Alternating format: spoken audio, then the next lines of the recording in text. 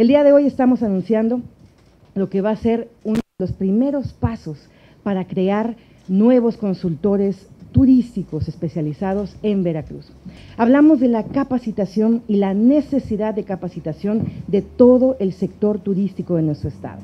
Hemos estado trabajando de la mano con los hoteleros, hemos estado trabajando de la mano con restauranteros, con prestadores de servicio, pero por supuesto reconocemos la necesidad de capacitación y sobre todo de capacitadores profesionales y certificadores profesionales en nuestro estado.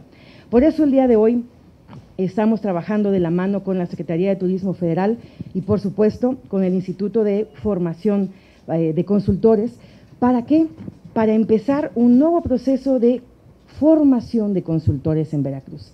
Aquellos jóvenes que están saliendo de la carrera, aquellas personas que tienen tal vez eh, experiencia empírica, que ahora van a poder tener la certificación necesaria para poder formar consultores.